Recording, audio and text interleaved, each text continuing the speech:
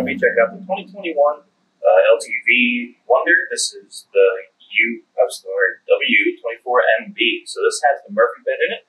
This unit does not have a full uh, slide out in this one, so you don't have to worry about any seals or any extra components or driving away with it open, which I've seen happen. So this is on the Ford Transit chassis. Uh, we have our lighted entrance at the top, which is a nice feature. So when you open the doors, these little lights will come on. Uh, we have our nice aluminum rims from front to rear. Uh, we have a dual dual pulleys on the rear axle, which helps with our uh, load. We have our main entry door and our awning. Now our awning uh, switch is actually located in the passenger door. It's going to be on our wall, kind of like right in this area right here. You have it in and out. So with this model, you have to to extend or retract.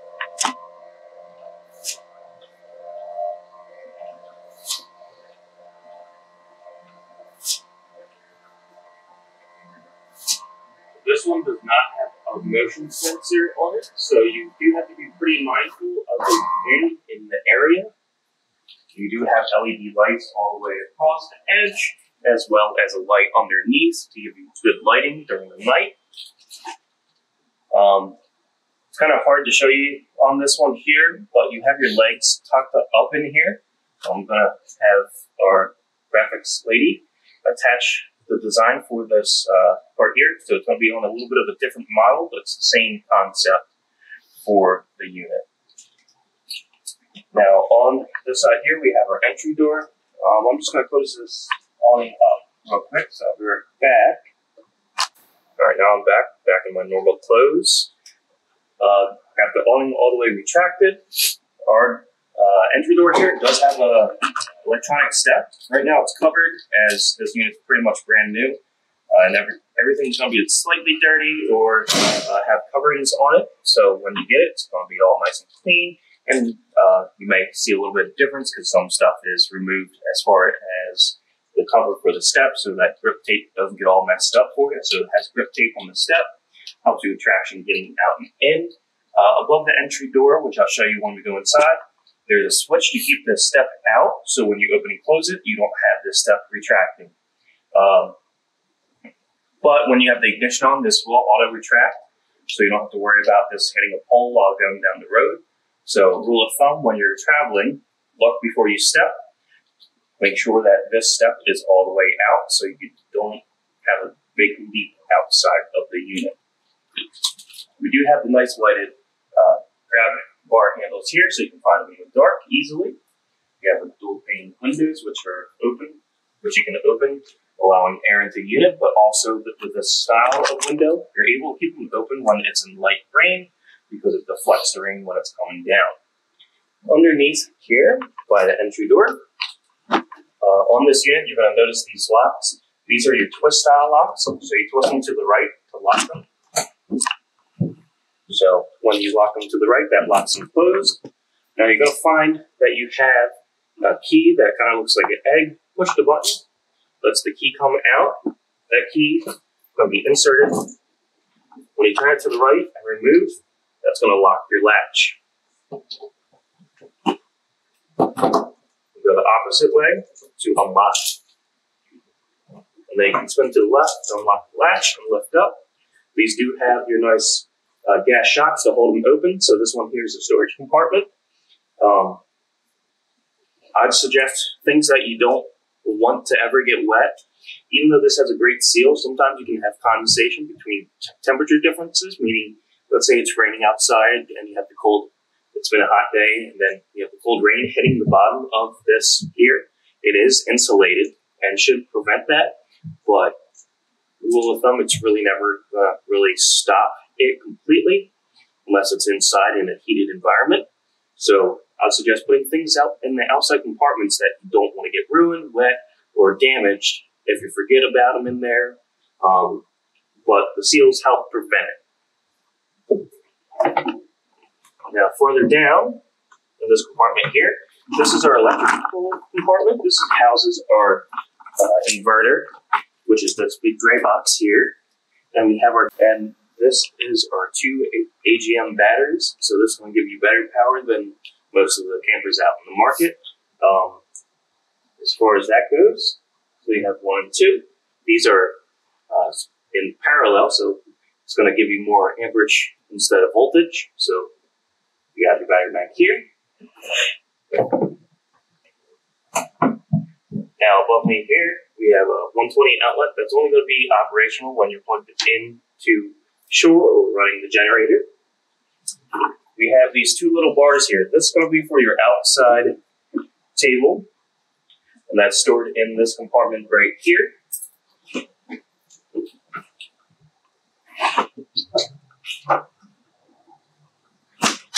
So this is our outside compartment.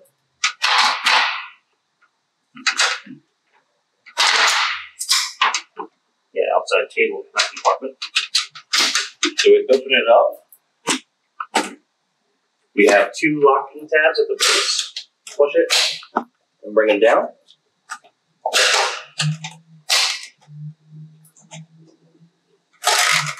And we can lift this up. Them on like so. Push this up to lock them in place so they don't come out or when you bump them, it doesn't fall off. Now, these legs are adjustable. They have little uh, locks on the sides. So if you need to, you can bring them down to level it off.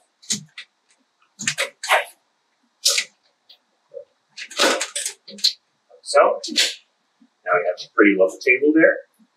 And then you just reverse process when you're done. We have our fridge vents right here, our intake and our exhaust for a fridge behind me here, this is that compartment. And here are your uh, foot pegs that in that attached video that I gave you. That's where these locations are. You have one in front of the door, one in front of this door here. So in your compartment, this is where your table gets locked to. So I'll show you that in a short here.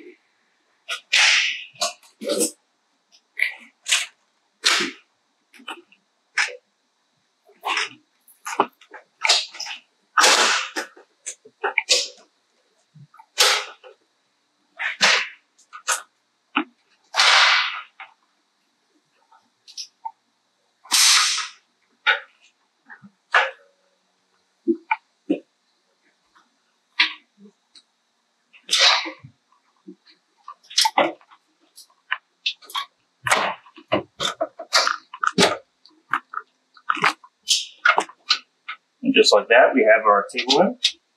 Give her a little tug. And you can tuck this up. Now you do have some more storage on the right hand side, some shelving. Also in the corner, we have our ladder extension.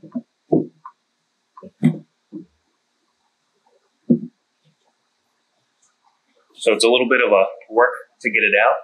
First, bring the top lift up pull it over and bring it down, and then you can lift it out sideways. Uh, this light in here is controlled by a switch in the interior, which we'll go over. Now I got this out. I'm just going to put this behind us for a minute. In the compartment below us, this is our generator. So this is a quiet gas generator. So this is going to run on regular gas from our fuel tank. So you must have over a quarter tank of gas inside the unit for this generator generator to operate. Uh, if you go under a quarter tank, this generator will stop operation, allowing you to leave the area to go be able to get more gas. So you're never stranded on the road or where you're dry camping. Now you have two tabs here. You can lift these upwards. That releases the front here. That gains access to the inside here. We have our air filter. We have our start stop, so if for whatever reason the interior switch stops operation, you're still able to start it.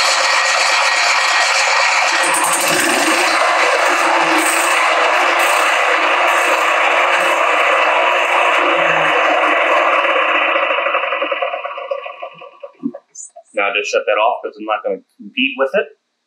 Um, we have our breaker is on the right hand side of it on the inside. and it has like a little arrow showing you where it's at. Uh, towards the outside is on. If it's inward, it has tripped, and it is off. So you must reset it.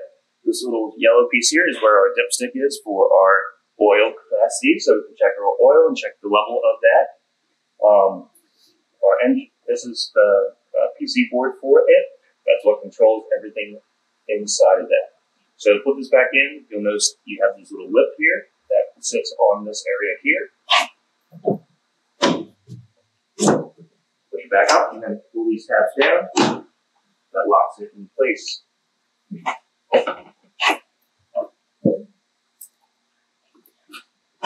Now all the way in the back of unit, we have our steps to the top. So you can see this is pretty high.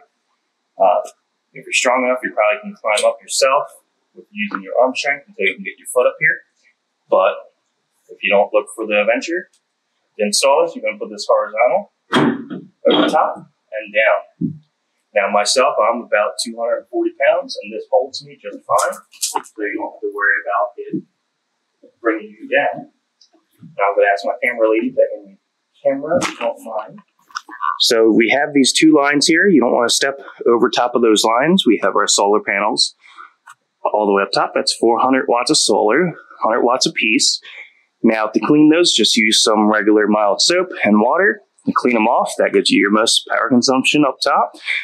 We have our Winegard antenna, our Dometic air conditioner, and our Fantastic Fan, and our dome for our shower. All the way up top there, that's going to be our uh, front vent, and the little thing is our antenna for our vehicle. All right, so on the back here we have our hitch. We have our exhaust for our generator, so make sure that you're not backing up to someone's house or window and running your generator so you don't have them get carbon dioxide poisoning. All the way at the top here, we have our backup camera. Now that's from Ford. So if any issues happen with that, we're going to have to go through Ford for that. That's all in the back here. Now on the driver's side back, we have our water compartment. Our water compartment has all of our connections for our hoses, our cable, our satellite, our macerator pump switch, our macerator hose, our gray and black valve. We also have winterization uh, bypass inside there, and we can also power fill our fresh water. So we'll go over that in a few moments. I'm just going to talk about all this, and then we're going to come back to the water closet as that's a mouthful to go over. Above our water closet, we have our Truma water heater. So first things first, when you get to the site, you're going to want to bring this down. Right now, we don't have our water filter inside, so you have to clean this down. Put your water filter inside here, which I'll show you what the filter likes looks like in the interior. Once you put it in, push it until it latches. You don't need to hit it or anything like that. Just push it on. We have our power, so you have on up or on down, doesn't matter. On is on. As long as you have 12 volts, you see a little green light illuminate. Right now, I don't have any water in this as it's winterized currently. Um, once you put the filter in, fill it with water, uh, that's going to stay green, but I'm going to turn it off only because it will turn red on me and give me a fault showing that there's no water flow going through the unit. Below that, we have our furnace. So you want to make sure that you put this back up before turning on your furnace, as you can kind of melt this door from the furnace exhaust, which is right here. And we also have the intake as well. Farther back, we have our shore cord connection. Now, when we are plugging into 110, we have our shore cord. Our shore cord end has a lock. On the end of it, we have a very, we have an L so you want to match these two ends up onto our shore cord connection. Turn it to the right after you pushed it in slightly. And we're going to lock, the, lock it on there. So if someone tripped on it, it doesn't pull out. Now on the end of it,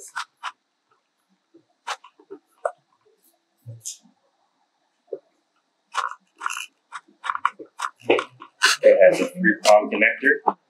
You can get an adapter from 30 amp to 15 amp. The only thing you cannot do is run your AC or microwave if you're plugged into to like your house style plug, but this style you can do run the AC in the microwave as much as you'd like. So I'm going to go ahead and plug this in. On the very top, there's blue light and there's a red light. A red light shows that there's uh, an error in the wiring wherever you've plugged in. Blue light means that you're getting 120 power to it. Now I'm going to plug this in, and you'll notice on the cap that this here is either going to turn blue or green, indicating that we're getting 120 into the unit.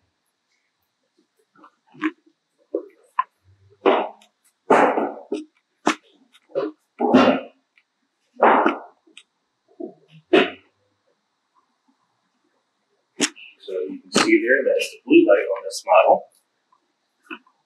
And then you can leave the cap down like so, so water can run off of it. Uh, underneath that board, we have our propane. So in our propane here, we have our gauge, which you can see on here how full it is. Also that, oh, sorry, stumbling over myself. You can see that this has wires coming out of it. Those wires go to the inside, so you're able to check the level of your tank from the inside of the unit. So this here is your off on. So you turn it to the right to close it, turn it to the left to open it. Above this valve, you have a yellow cap. This cap is where you fill, and then you have your bleeder right here. You want to make sure that's closed all the way, um, as that just allows gas to escape if it's open. And you don't want that, you have a nice explosion.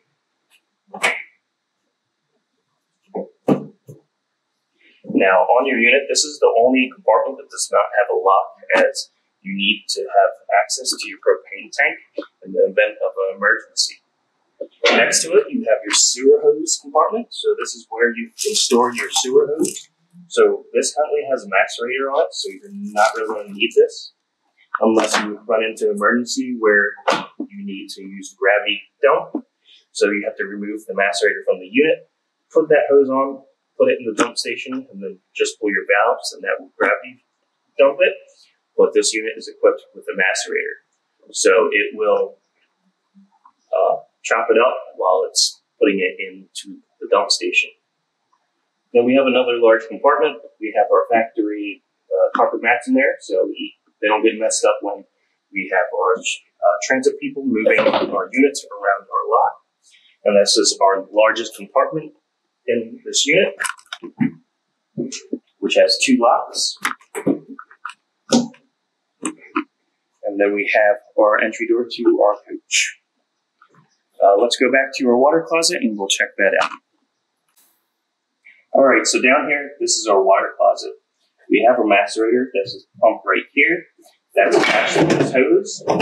This hose is retractable and extends, so you can reach it to your dump station. On the end of this, this does have a cap, so you can keep everything nice and sanitary inside your unit. So just remove that cap. Now, the reason this has different size holes is so in uh, dump stations, they can be different size pipes inside the unit. So we're just going to go ahead put that in our grate. So if any winterization fluid comes out, we can just dump it in our grate. Okay.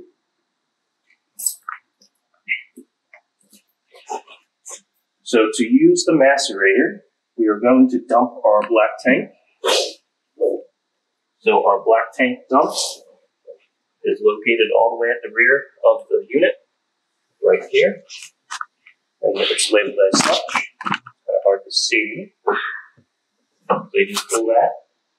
That allows the toilet water to come to the macerator. Once that's there, we're going to push the macerator button, which is probably in this. that So right here, this is our macerator switch. We're going to turn it on. You can see it pushing out water. So that's going to be all of the toilet water, which is antifreeze currently. And you can see that it's retracting. Now that that's retracting, I'm going to go ahead turn it off close that valve. Now, after that's done, to help keep this nice and sanitary, uh, you can take this off, which is a breather. This is for your san- Santon uh, flush. So we're going to open back up the black tank dump. We hook our garden hose to this from a faucet or a spigot to force water into our black tank. That's going to help clean out the black tank. Once that's uh, going, you're going to want to make sure you turn this back on, like so. So it uh, helps push out all the water that you're putting into it. Uh, turn off your water source to here, remove the hose, put your plug back on this. Once that's done, you can go ahead and close the black valve again. Now that that's done, you're going to go ahead and pull on this gray tank dump. That's going to be all the water from your shower and from your kitchen sink and from your bathroom sink. And do the same.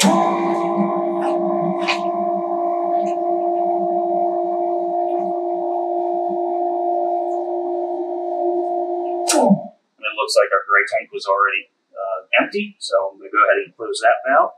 You want to leave your valves closed. Now, there's a misconception that across some trailer parks that you want to leave it open so when you go, it comes right out. That's not the case. These units have a holding tank in them and they don't drain out right away. Uh, what helps keep them going is you want to use a lot of water inside those so you can pre-dump some water in your toilet to help keep your solids floating and your paper from paper macheing the bottom of your tank.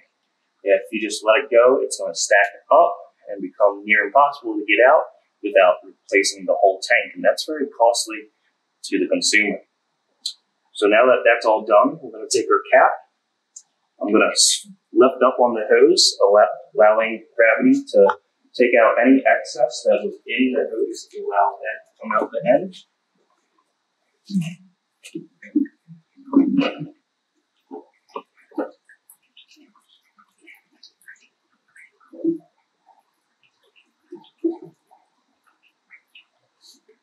Now that confirmed that all of it is out, I'm going to go ahead and put the cap back on. I'm going to take this head, put this head all the way in first, and then follow it with the rest of the hose.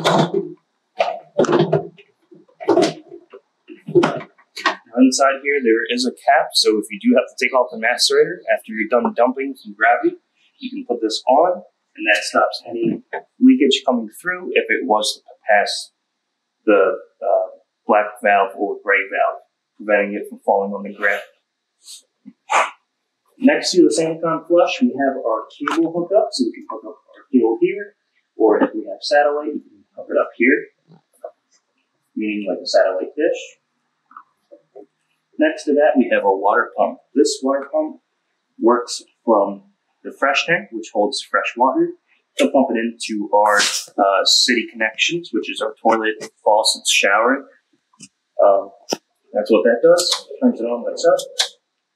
Then next to that, we have our city fill. So this is the connection where you put your garden hose in to have water to your whole water system. And that's all of our valves throughout the unit. We have our garden hose here. This gets pushed into this quick connect. Like so. That gives us flow to it. So we have cold and hot. So the hot's going to be from the water heater. Cold's just going to be from the source here. To remove it, make sure you depress on this, releasing any water that's in it. Push back on the collar and remove. I suggest lifting up on the end of the hose, draining out any excess out of this. Now there is a single hose inside. This is for winterization only. Uh, if you put this blue valve and point it to winterize, turn on the water pump and you'll have the water suck from this source here. Put back to normal flow. That's going to take water from our fresh tank and put it to our city connections. Now, to fill that fresh tank, above this faucet here, there is a silver valve. If you take this and put it sideways, that's going to take water from here, from our city connection, and put it to our fresh tank. Then remember to put it, this valve up and down. That puts it back to normal slash uh, city water. So that means that this fitting here will give water to our city connections. And if we turn on the water pump, it's going to take water from our fresh tank to our city connections. If you don't do that and turn on the water pump, and you're like, why am I not getting any water? That's because it's just taking water out of the fresh tank, pushing it, and putting it back into the fresh tank. So I'm just making a, a circle. So all I got to do is make sure that this valve here is up and down. Uh, there is a pass through underneath this. So if you want to, you can actually put this back here. There is a pass through right here. So you can put your uh, hose and cable connection through there. So you're able to close this compartment so you're keeping water out of your unit and keeping it look nice and clean. We're going to go and check out the inside now, and we're going to go over all the aspects of the interior. All right, so over top of the entry door here, inside this compartment, we have our push latch here, or pull latch. We have our Bluetooth enabled solar power controller. So we have our AC, so you can kind of boost your AGMs by hitting AC. We have max boost. That's going to give you maximum solar charge to uh, help out the power of that unit. We have A and B, so that's just going to help us go through the whole uh, system. So if you hit B, you can see what your battery voltage is at. You can see how many amps you're getting input from.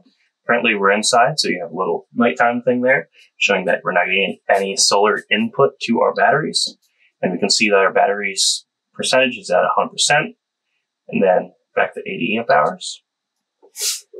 Next to that, we have our Freedom X. Oh, sorry.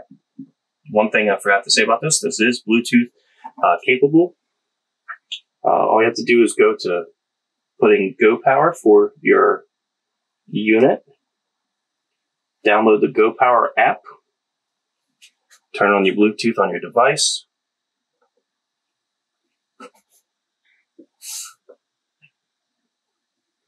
You find your device, and then you compare with it. And then you're able to see the same type of information that's going on with your whole unit on your phone. So if you're laying in bed, you can check out what's going on while you're laying in bed. You can disconnect if you have multiple devices, but you only have one device on this one. Next to that, you have your Freedom X controller. You can also see your battery voltage here. You can see that the battery type is ABS. So it's a AGS battery. Right now it says bypass because we're taking 120 volts uh, and charging our batteries through the inverter. If we unplug, you'll see just a battery to this little light bulb uh, showing that it is inverting 12 volt into 120 volts. If you hit the little chevron up button here, that's going to show you how many amps we are pulling in. Right now we're charging at 10 amps. Uh, we can see that our AC input is 2, 2 amps with a zero load because I'm not running a microwave or air conditioner.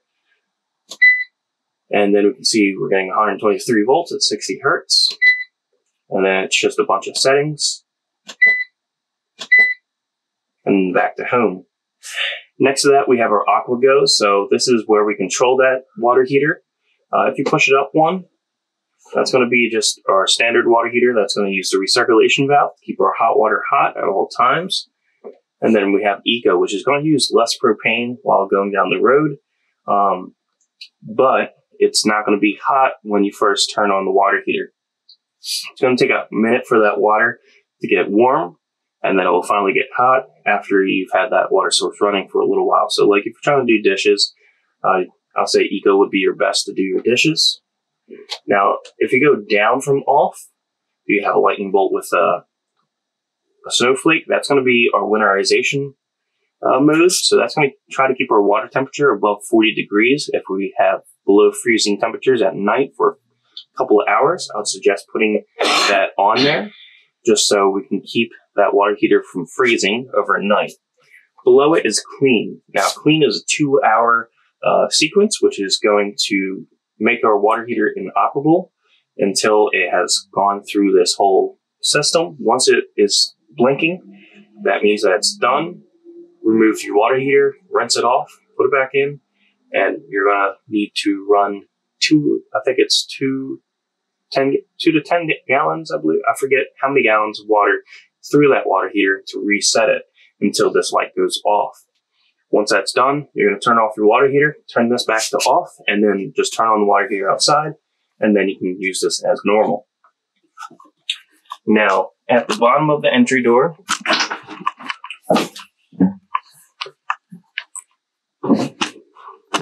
we have our battery disconnect.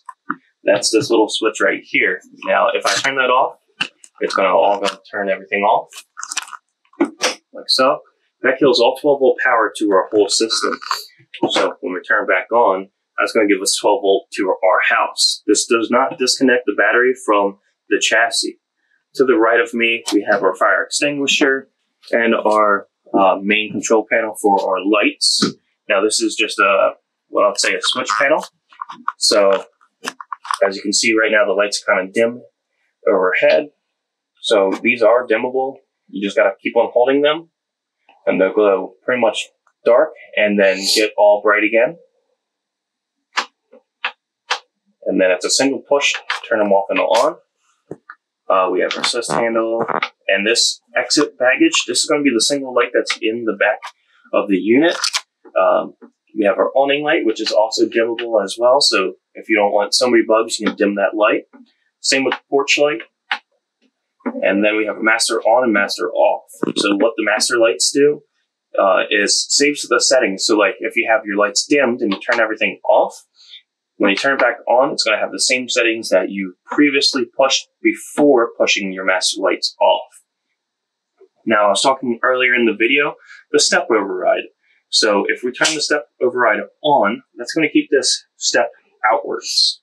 Um, this step is activated by the main door. So if you close the door here, it won't pull your steps in, but if you close this door here, that would pull your steps in. Uh, this entry door also has is linked with the chassis. These are my keys. And here we go. Put them in my back pocket. So you can lock and unlock your entry door by a simple push. So I'll shut you in and you'll hear the audible lock. That there. So you want to make sure that all the way into your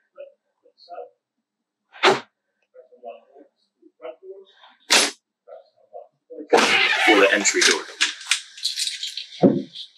So when you're leaving, all you have to do is hit lock, and that locks your door. Now, it's not going to lock it when it's open, and that's because your contacts are right here at the base of the door. So if these are not touching, this door will not lock and unlock with it open. So you're wondering how to keep the privacy with this door. So if, when you close the door, you can see that there's no uh, blind on it. So you have blind over the top. You pull that down, there's a little magnet on the base, and you can magnetize it closed so it doesn't flap while you are moving around inside the unit. then when you're done, it rolls back up. Next, we'll go over the electronic control board, which has all of our data and everything on the top of it. So we'll be right back while we set you up for that. All right. So the entry doors to our right side and to the right side of when you're coming in the entry door, we have a little closet here that has your hooks for uh, jackets or shirts and some storage down below. Push that closed on the wall over top of the passenger seat, we have our main control panel. Now, this main control panel also has an app that you can use as well. Now, that's by Vega Touch. If you hit the little cogwheel here, you can come to your settings screen. You have your 24 and 12 hour. We have our auto dimming you can set and push for mobile app. Mobile, the mobile app is Vega Touch. So if you open up the Vega Touch app on your phone, don't mind my broken screen. You hit scan, it's going to come up with this one. As long as these number matches, double press it. it says connecting. Once that's done, you're going to see authenticate, push numbers there. You're going to type in the numbers that are here and then hit authenticate. That's going to load the floor plan. Sometimes these need an update, so you must make sure that you have your phone connected to data um, to allow the system be, to be updated. So this here does also your lights, your temperatures for your thermostat, has your le- has your levels for your uh, fresh tank gray and black and propane, has your water pump switches, has your house and chassis voltages, and your auto gen and gen start and stop uh, pieces here. So if you look at here, we have our house. So on our house screen, that's going to have our lights here. So you have your master lights, porch lights, and awning. Now, if you push the porch light and hold it, it's going to do the same as your uh, touchpad did at the side of your entry door. We have our water pump here. So anything that's on is going to be a blue, a blue light indicating that it's on. This here is just your thermostat, so you can turn it up or down. We have our voltages and our generator start and stop here. So just like outside, this is a push button, so you can start it here. That's going to start the generator on side of the unit. I'm going to turn that back off because we're plugged in. You don't want to have your generator running the whole time while you're plugged in. It's going to make your transfer switch go crazy. Starting it for a second is not going to hurt it. I uh, just don't suggest doing it. Down below that, we have our auto gen start. So you press it once to get your warning screen up. Now you want to make sure you're not inside of a cl closed space like we are. We're in a shop. But to activate it, you're going to hold and press enable and then release once it's turned blue. Now it's enabled, so you can set, press this here, that's going to trigger it. So if we go into a low voltage state, it should start your generator. Uh, we have five tries for it to start until it stops trying to start the generator. And then we also have HVAC uh, load. So if you turn on your air conditioner while unplugged, it's going to sense that you've turned it on and start the generator and then it will start your air conditioner, allowing your unit to cool down. Um, sometimes I've noticed that some of them kind of hiccup a little bit with that, so kind of use it at your discretion. We have our start voltage at 11.5 volts because with AGS or AGM batteries, their batteries like high voltages. So you go from like 13.5 to 11.5 is the best voltages for to run a run at. Then we have our quiet start and stop times. So these are going to be your times that you set for it to not run. So it's going to be in between 10 p.m. and 9 a.m. And it's going to be in 15 minute increments of time. So you can set that at a campground you're at. We have our time to stop volts is 20 minutes. so it has to be at 14 volts for 20 minutes for the generator to stop. stop. And it has to be at 11.5 volts for 20 seconds until the generator starts. Uh, the maximum generator runtime is 300 minutes, and that's the maximum you can set. And the minimum is 10 minutes. Now, if we go back to home here, uh, I'm going to turn off the AGS since we're plugged in. It's just a push of a button. Then we have a little light bulb. That's going to be your lighting page. Kind of does the same thing that the um, one at the entry door does, except it has all the lights of your unit on this.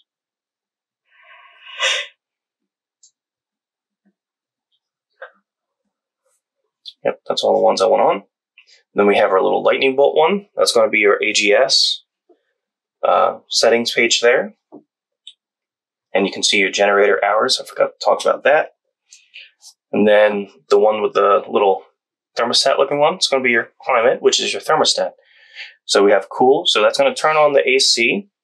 Uh, we have a high, low fan, and auto. So it's going to be high until it reaches temperature, and then it shuts down to a low setting uh, once it's reached its temperature. Right now it's above what the temperature is. So we're going to turn that down. There we are. Let's turn on the air conditioner.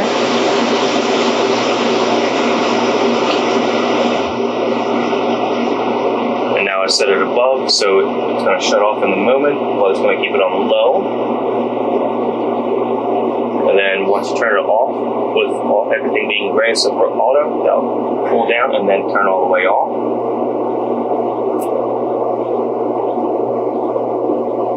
Then we also have furnace. Now your furnace runs off of propane and 12 volts, so you got to make sure that you have your uh, propane filled and have the disconnect on because they use 12 volts to have it run.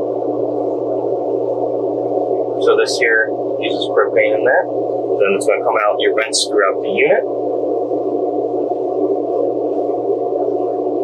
Then you can push it to turn it off.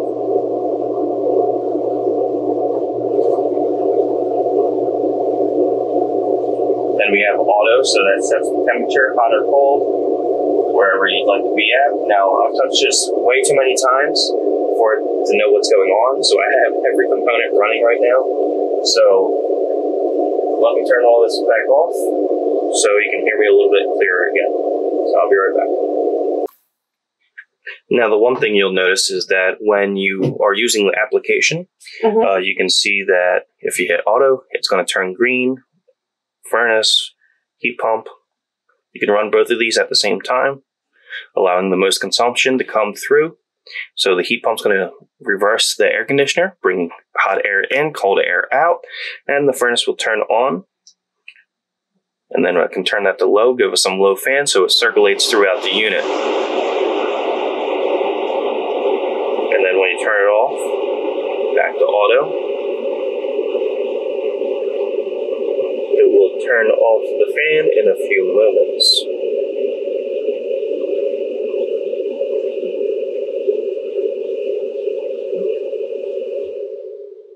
Like so. Next, we'll go over the rest of the interior and Murphy beds.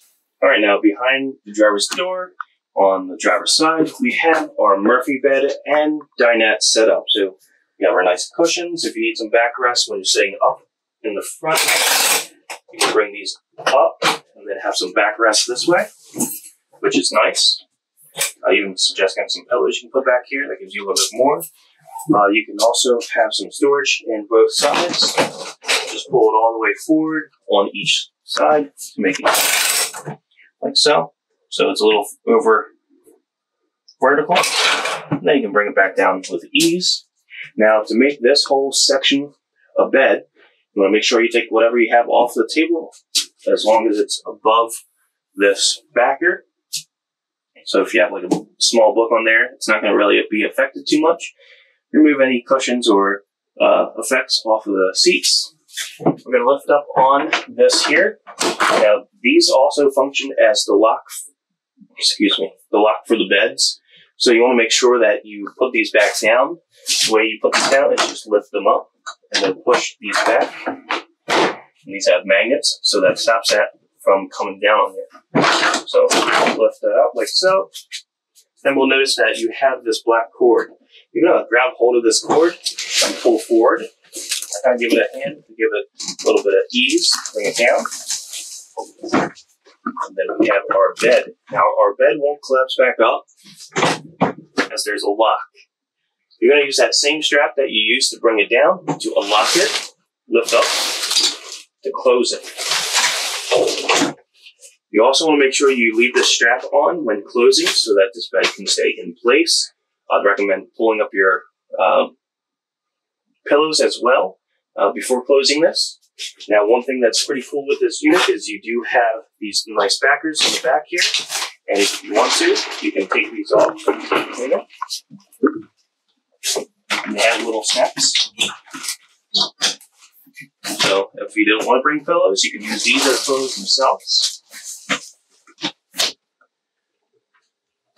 Now, in the corner where I'm at, there's also a light switch. So when you're laying in bed, you can grab the, the lights and everything straight from bed.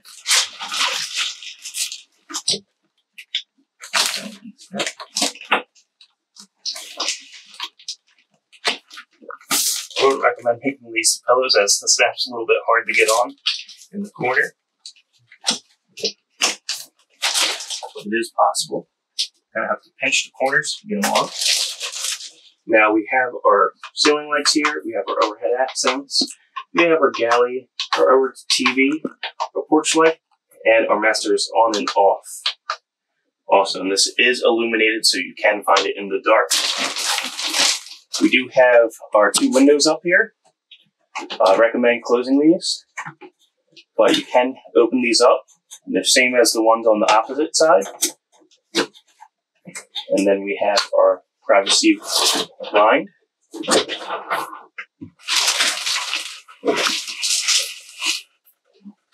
So you can see that you can lift this up with ease.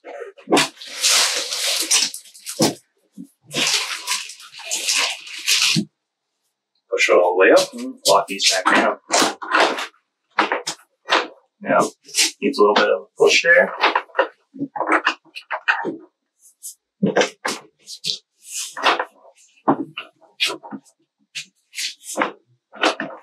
Ah, so on this side, the bag got caught from the bed. So you want to make sure that you don't leave covers on for that reason. There we go. Now the bag for the bed's out of the way. And we're able to close that with ease. I'm kind of glad that happened because if going down the road and I see uh, things kind of happen as I'm the tech, technician that also works on these other than demo thing, I can know that there was something caught in there and that could help resolve it so you're not stranded on the road. Now above me, this is a nice uh, blind. You also have a bug screen, which you can bring over. And then there's a little lift bar to lift this all the way open. Um, you do have different stops you can set it at. Do not drive with this open.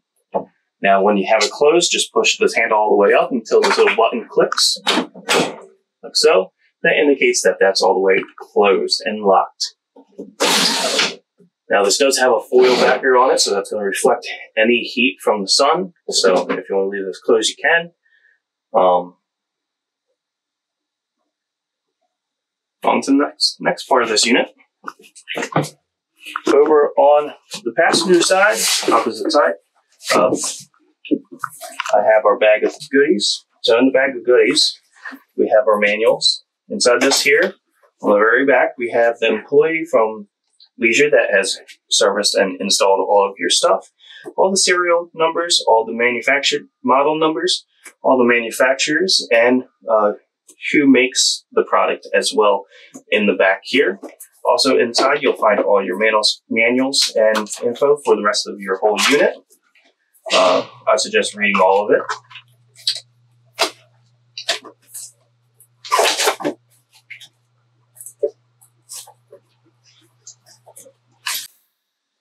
All right, so we have a lot of space over top here for storage.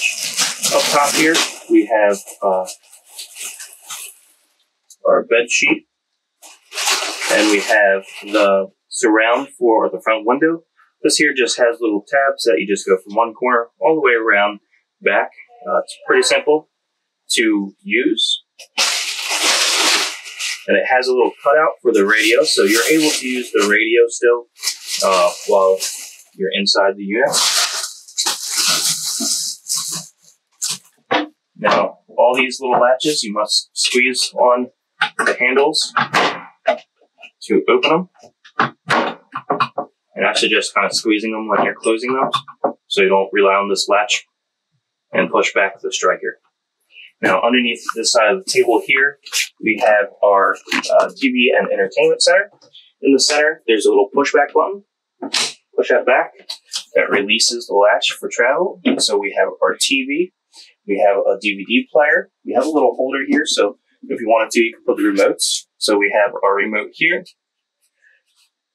Right now we're plugged in, so we're able to run that. Now, if for the reason if you're not plugged in, you can turn on your inverter. It gives you 120, or you can turn on the generator, which gives you 120 and charges your battery. Where the inverter just uses your battery to uh, make power, so it's not going to charge, and over time it will die. Only difference is the inverter is quiet, where the generator makes some noise. So during the night hours, I'd suggest using the inverter to run it, where during the day you can run the generator to refill your batteries if you're not plugged into 120 volts. If you're plugged into 120 volts, just use it like a normal house. Um, let's see here. We have our input is on TV. Hit menu. Um, I want to make sure our bunny ears are on. I don't know if it's up here. No, it's not. The what I am searching for is a booster. Not sure if it's all the way underneath here, which it is. Apparently, it is on. Underneath in this section here, we have two, four outlets. We have a uh, HDMI cable, which goes to the TV. We have our satellite and our rooftop satellite connections. We have our antenna booster, which has two buttons on either side. Make sure they're both illuminated green. And next to that, we have two USBs that we can plug in, which has a black cover on it. Underneath here, we have our JBL uh, sound bar. If we pull this down, we have an ottoman. So we can put our feet up and relax.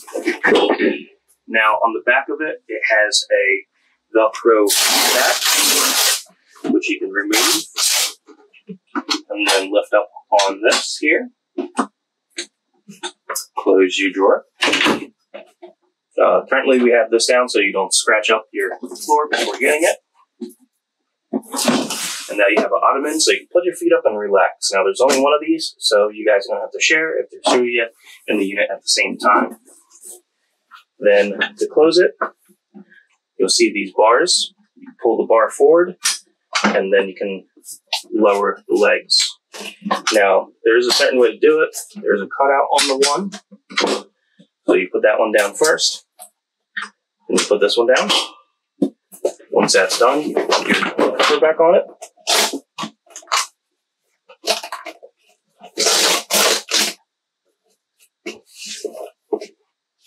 Now I just dropped the remote.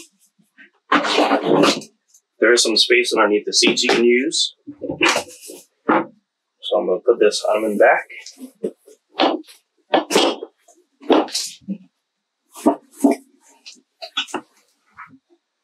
And there's a lot of storage underneath there as well.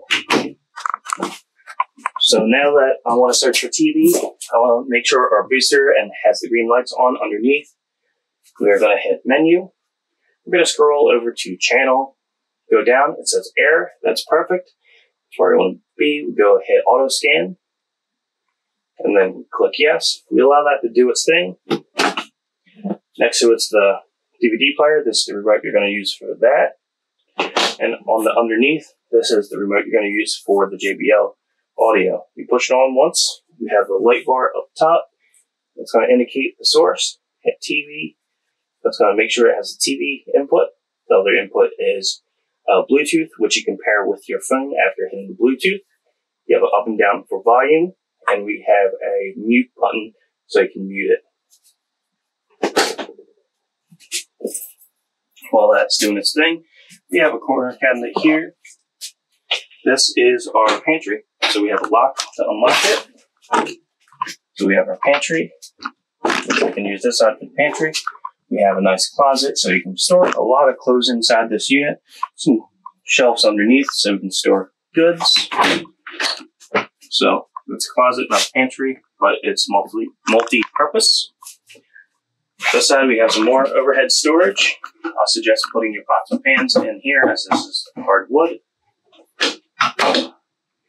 Up top here, we have the grate for our microwave, which is behind me. This is a uh, convection microwave grill, so you're able to do the same thing inside of it.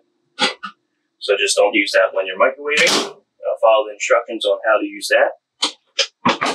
We have our two burner stove top. So to ignite this, we got to make sure our propane is on on outside. Bring this to the lightning bolt, push in, and then hit the igniter. Hold it for a few seconds until it's on, and you can do the same for the other side. And then let go. Now you have two burners, and you're able to use them. Do not turn the burners on with the glass on after having these on for a little while, let these cool down before closing the glass top.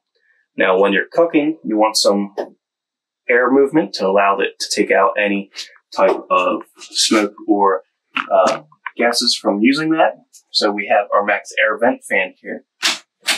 So we can turn this to three, and then we can hit this button next to this manual roll up. So you can crank it up manually if you'd like, or you can hit the button. That's going to lift it up for us. Once it's up enough, it's going to turn on the fan. If you want just vent, you can turn off the fan. Then the one, two, three is going to be our fan speed, which we can also turn off the fan by putting that to zero. Now there is a knob here with a thermostat. So if it gets hot, you can change the temperature to turn on when it gets warm, or a cold to turn on when it's cold. Then you can push that. That's going to retract it. That's the little switch right here, black switch. And then once it's all the way down, it turns off the fan. Like so. Alright, so our fan's here. Above me here is our air conditioner. Now, all the way at the floor line, we have our 120 uh, breaker box location. So you're going to have all your breakers in here for your 120 section. Uh, the next one next to it, pull down tab. This here has all the labels for your 12 volts. So this is all your fuses for your 12 volt system. We have our three drawers, deep drawers, all the way down. And we have our silverware drawer. Inside this drawer, this is our filter. See how it says top here? You want to make sure this says goes in that yellow location that I showed you in the beginning of the video. Once this little tabs are kind of like in line with the little claw section of that, you just go ahead and close it in. That's going to push this in. This is your drain plug and filter for your water heater. Uh, also, you have some equipment in here. You have some parts for your fridge and for uh, any other accessories inside this unit. And we have a quick connect, which is, I forgot to talk about. So close to the end of the video, I'll show you where this is at. Uh, and we have our sink, which is a deep well sink with our cover. So currently it's winterized, so let me stop up some of this water antifreeze. Now this will be fully fully detailed by the time you get it. Um, this here will drip a little bit of water, so I'll suggest putting a sponge or a paper towel on top of this if you put this down, because water is going to find its own level. So once it hits the level and you're hitting those corners with the vehicle going around corners, it can force a little bit of water around that. We have paper towel holders and a spice rack. We have some more switches here. So we have our ceiling lights, our master lights, a water pump switch here as well. So we can turn our water pump off and on here. And our accents, um, if you want to walk down this way just a little bit for me. Inside this compartment, we have our trash bin. We have a water pump located on the floor and we have our bypass valves for our water heater. So right now the unit is currently in bypass so that no antifreeze gets into the Truma system. Um, when you get it, you're going to want either this is going to be in bypass and dewinterized by the time you get it, maybe. If not, uh, we'll just have to follow the valves. Now, all these valves do have labels on them. Uh, suggest using a flashlight and follow the Truma's instructions for dewinterization underneath the microwave, we have our Dometic uh, double-sided doors, so you can open and close them from either side. So if you're trying to get some ice cream after a shower or have a cold beer while you're taking a shower, you can open it up towards you there, or you can open it towards you the other way. Now, to turn this unit on, you have a one-button switch. Press and hold that down. That's going to illuminate our screen here. So on the screen, we have our uh, tells us our temperature for our cooling, tell us auto, right now it's plugged into 110 and the beeping is off. So this has warning indicators that we left this freezer open for too long, indicating that it's going to start beeping at you, tell you to close your fridge.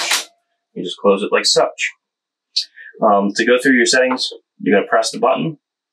First one's going to be your temperature. Press again to select how cold or warm you'd like it. Press again to exit.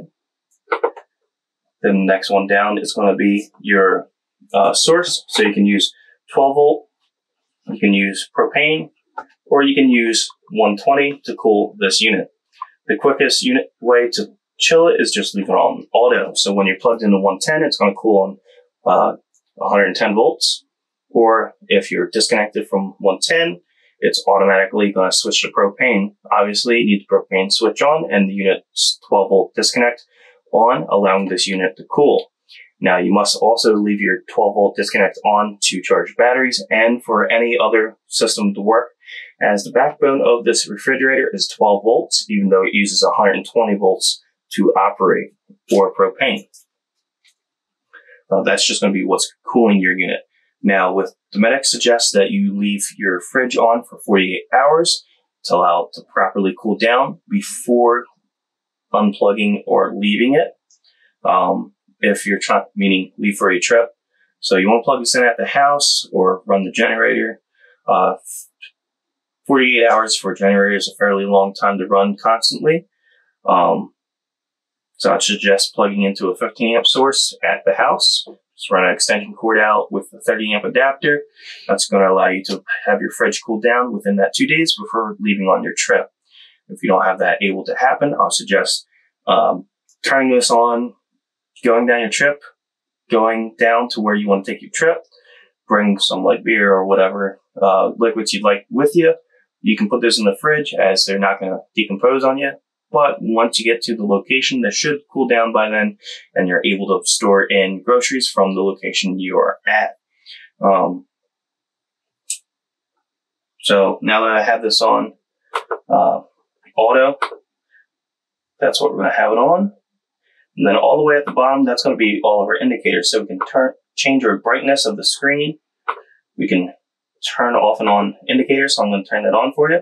We have our recirculation fan and we have a defroster, so we can defrost the um, freezer once we've used it for a while, and then we have back. Now, when you're defrosting stuff or leaving this for storage, you want to put some paper towels at the base of it and prop these doors open. So you can just leave them open like such when in storage so that some airflow can get in, prevent uh, preventing mold from building up inside. So you want to have that nice and dried and wiped out and leave a paper towel at the base of it to soak up any moisture that's left in the unit when leaving it. Now you can see that I have the system on. You do have light indicators in it. You do have your fresh um, selector down there, so you can control how much of air flow into the unit right here. So if you have carrots, you want to have as least airflow, or, or if you have apples, you want a little bit more airflow into that container. And then when you're pressing and opening this, you want to pull this from the center and close it from the center of the handle as well. That helps secure the front and bot the top and bottom latches all the time. If you pull just from the top, you can run into an issue down the line that the door may flex or warp, preventing the bottom from being closed all the way. Now, all the way aft, we have our bathroom, we have a bathroom door, which has a stop. Push down on the black stop at the base of it, which is right here. That allows this to slide closed, and you do relax and lock, giving you some privacy. And that's just a little twist latch here. And if you really need to grab the door, you can grab it like such. Once you're done, push it all the way forward and lift up on that. That gives this door a little bit of a lock. Now, if you really hit some big bumps, this can come closed on you. Um, that's kind of just with the nature of having a mobile house. Things are going to shift a little bit while going down the road. So any rattles, any type of uh, noises, you're going to hear that going down the road because this is a house on wheels. So all the way in the back here, we have our medicine cabinet and some overhead storage, so you can put your uh, towels and linens in here. And you have your locks. So push this one at the bottom. There we go. That one's secure now. We have our ceiling and our water pump in here as well. We have our pneumatic toilet. So to use this, this is a gravity, so you're gonna have to depress this slightly to allow water to come through it. So like so, and it's gonna fill up a little bit more when you push it. Um, and then when you're trying to empty it, just push it all the way down. That's going to have water coming out, help rinse the bowl while dropping it all the way down. Now you're going to want to use some chemicals in there to help clean it out and keep it nice and sanitary in the toilet. Now, if you need a little extra help cleaning out the bowl, you do have a sprayer. So to use the sprayer, you must depress the sprayer handle and press down on the flush valve until water comes out. Now that's going to be more apparent when you're hooked to city connection or have water in the fresh tank and have it primed and running. Now, there's also a seat cover, so when you're using your shower, you don't have to sit on the toilet lid. You can actually sit on this. Now, I'm 280, and that's fine, and it's holding me just right. Also, on this side, we have our uh, hot and cold for our sink. We have little holders. Now, you're going to think it's a little weird that there's a cup in here. Now, that's going to be the cup to hold your toothbrushes. Put your toothpaste and soap in there. Now, if you want to come over up here, we can show you where your shower is. So we have our shower right here. So our shower spout closes like such. Now you're going to want to hold it onto this door while closing it, like so. Shower just like normal, but you have a shower light inside. You have a grab handle so you can have a, a sure step getting in and out. And then we have our bar here so you can hang your dripping uh, wet clothes and or dripping uh, towel, keeping it all in there. Nice sunlight. So if it's bright out, you'll be able to see the sunlight coming in and not really need to have the bathroom lights on. Uh, to keep moisture and all that down, we have the same MaxxAir vent fan that we have in the kitchen. Same procedures, just push the button. That's going to bring it up.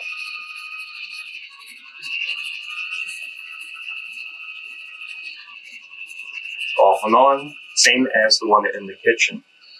Uh, in a few moments, we'll go over the rest of the chassis side and just the components underneath the hood. All right, so to rotate this round, first thing you're going to do is bring your seat forward. There is a yellow handle in the front. You spin it around, and the way that you make this handle here come open is just by pulling it outward. Now you cannot drive down the road like this. It actually stops you from taking it apart. So to make sure you're able to go and drive, turn it around until it locks, and then you can move your seat back as well. Now you can do the same for the driver's side. The only difference is that you must deep take down the parking brake by pushing it down like so. Now, parking brake is still on, but you're able to clear it around. So pull it all the way back up, pull up, and push down the button to release the parking brake. Now, I gotta go and open up. You want to make sure that you have whichever uh, chair you are spinning around. You make sure that you have that door open. So, on the driver's seat, uh, driver's side door. I gotta pull it forward. And I gotta turn it. And then I can close the door. And that's about as far around as you can make for the driver's door, driver's seat. The passenger seat's the only one that can go 180. Or this one can only go 90 degrees. So you can pull that that way and bring it back. So I'm going to go ahead and show you underneath the hood. The hood latch is right here. And that's underneath this cup holder. And then we'll go over the rest of the dash after I show you the components under the hood. So with this one here, we do have nice halo headlights, and the fog lights equipped on this model. So underneath the hood, we have our turbocharged motor, eco motor. The hood latch goes there. We have our window washer fluid here, our air box for air intake. This here is our cabin air. That's where all the air is going to go in there. So you want to make sure you get all the bugs out so you don't smell bugs on the interior. We have our 5W30 here, and our dipstick is back here.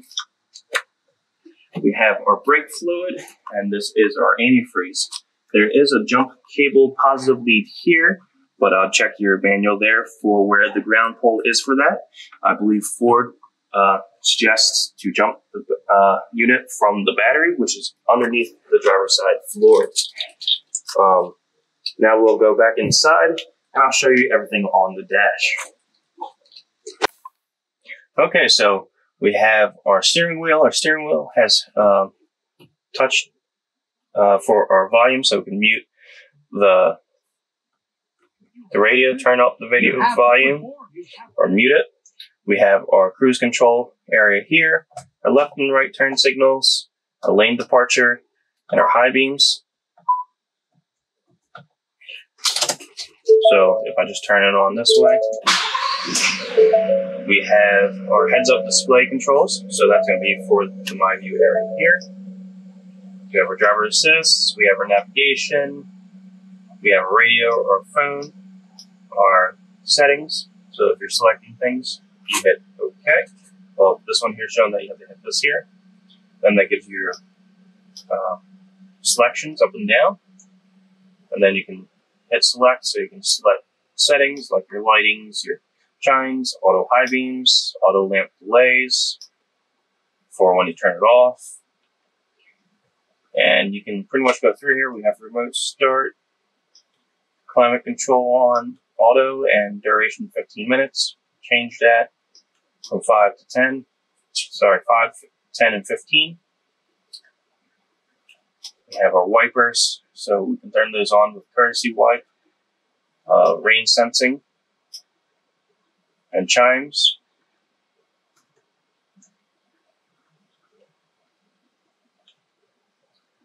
We have our driver assistance in here, pre-collision assist, lane keeping assist, which alerts, driver alerts, our display, so you can see your languages, miles per gallon, temperatures, tire pressures, and PSI.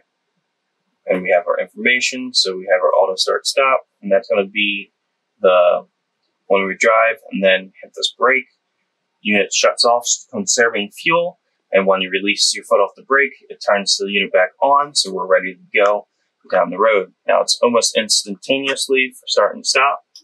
We have our driver alerts and engine hours, how long it's run and how long it's idled. Um, then our vehicle maintenance, so we can check out our oil life and our tire pressures right here. So you can see 68, 69, and 54. And that's our inner and outer tires as well. So it's all tires. We have our trip log, so we can see our time, miles per gallon. Right now it's only at 4.4 since it's only been idling. Uh, 250 miles to eat empty. It's been 38 miles. Our miles per hour. We can see our driver assist warnings. We can see our navigation heading west. So if we back up,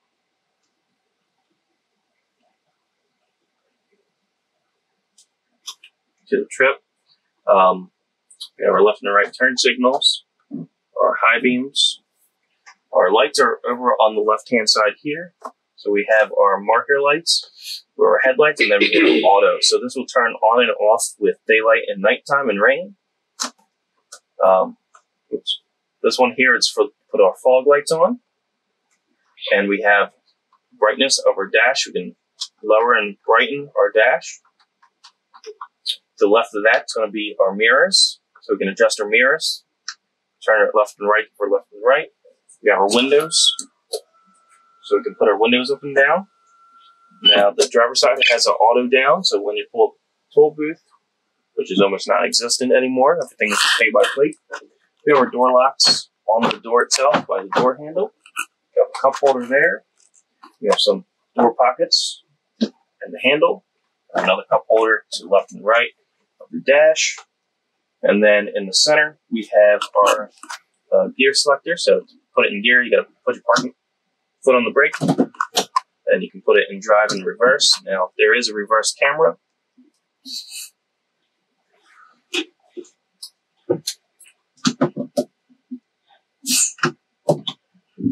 There we go. There's a reverse camera in reverse. And I believe, I don't know if this one is equipped. It is not. But you have your mode here. So on the center, you can see drive no- mode normal. We have drive mode economy save with some fuel. Some slippery, so if it's snowy or wet or raining, put on slippery to help. And then we have tow haul as well. So if you're towing something behind you, you can change it to that to help with engine braking. The next little icon right here, this is our traction control. So this turns off and on our traction control, which is indicated on the dash here with the off with the little squiggly in the car. Push it again and then it will turn on. Uh, on the right side, this is our auto start off and on. To turn it off, uh, the engine will stay running. When you're braked, turn it on, it will turn back on. So turn off the coach, saving gas when you're at a full stop. I'm just going to turn this off now since we're not going over the engine components. This is our dash radio. So we have our audio here.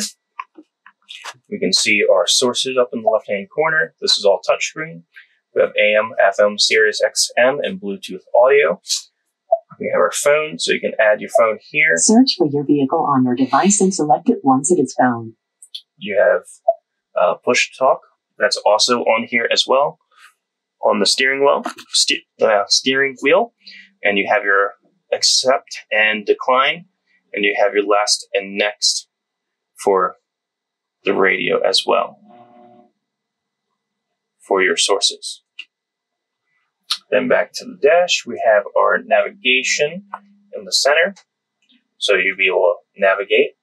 You can pinch out and move across and around to navigate to try to find that road. We have our apps, so you can add mobile devices. You can find mobile apps. You have your Sirius XM travel link, so you can find fuel prices, music, weather, parking, and all that type of stuff on here through SiriusXM. And the last setting is our settings. So we have our navigation, mobile apps, Bluetooth clock. You can scroll left for more, so you have automatic updates, vehicle display, voice control, valet mode, Ford Pass Connect, which is an app you can download on your phone to help link with your chassis here. We have general, so you can go in there, get your temperatures, touchscreen beeps, and software licenses and a reset. And then we have home all the way back up here. So this is your normal home screen. You can see your phone would be here, your radio station, and your GPS up on the dash. You also have the old school touch. So if you want to look, raise and lower your volume, you can turn the head unit off and on for the audio. You have your settings screen here. Bring up settings, your play, pause, next. You have a screen off, so you can turn the screen off to that or all the way off. Push it once more to be back like normal. We have our tune, so you can tune your channels left and right here manually. And this is not a button. The only button up here is this volume off and on. We have our fan control here. So you can set your fan control and you can turn off the whole system right here if you don't want to use it. We have our defrosters front and floor. So if you want the air coming through, we can there. And then you can close off your single vents up top. We have a recirculation and then we have AC and our defroster on the opposite side. Now max defrost, if you take this part here, click it once, that's your max defrost. And max ACs, click it once on the left hand side, that gives you max AC and then you can turn it off and down, turn it all the way off. Below your climate control, you have your four ways. We have USB here with a 12 volt charge. We also have the same thing on top of the dash of the driver's side as well. And then we have our glove compartment in front of the passenger seat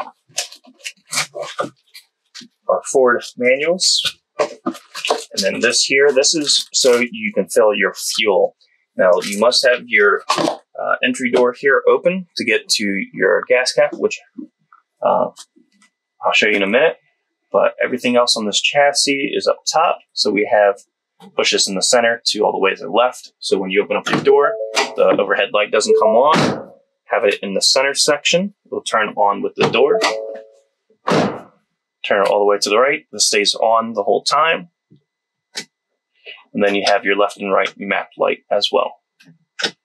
Um, you have your mirror, but that's not going to serve us any real purpose. And we have some overhead storage right here. Over top, I suggest don't put anything that can roll out up top here, as in the event of a hard break, it can roll back and probably hit you in the head. So I'd suggest just some light paperwork up top here, uh, and that will do fine. You do have your curtain airbags all the way through the B pillars and uh, your tweeters in the pillars. Doors have door speakers, and that's all your speakers up front here. Um,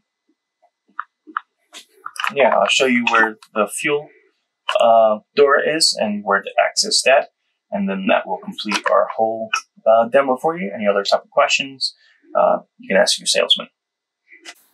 All right, so here's your driver's door. I'm going to open up your driver's door. Open up the gas cap, and uh, you're able to get to it. Now, this doesn't have a regular gas cap. All you have to do is push the nozzle in, and that will allow access to the fuel. So that's the main reason why we had that white piece, is so it holds it open, so you can gravity fill it with a gas tank, gas can. And then once you're done filling it, just close it up and close the door. This also helps prevent people from trying to siphon your gas as well. So that's a big plus there. For an event of your chassis battery dying, you just use your key to lock the doors on this model. And one other thing I forgot to show you, let's go over to the entry door. I'll show you where these two keys go.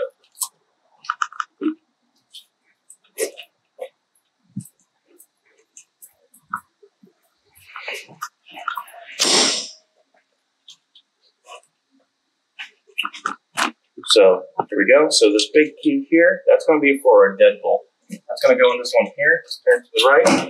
That's going to lock it. So push it again to unlock it. We can open it up.